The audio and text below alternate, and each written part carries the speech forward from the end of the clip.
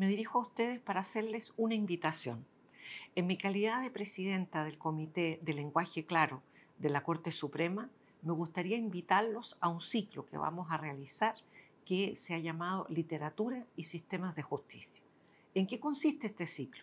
La idea es que jueces expliquen ciertas obras literarias que se refieren justamente al Poder Judicial, a los tribunales, a las partes, a los litigios y a los problemas que esto genera, y a la vez las presentaciones de estos jueces sean comentadas por personas con vasta experiencia en cada una de las materias respectivas.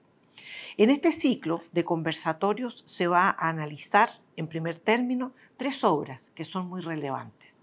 El proceso, crimen y castigo y los miserables. Luego tendremos un segundo ciclo ya más avanzado el año 2023, donde continuaremos con otras obras interesantes.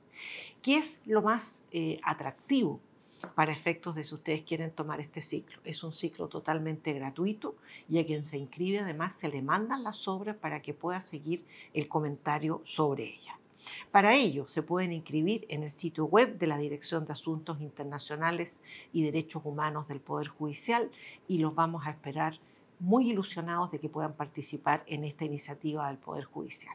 Muchas gracias.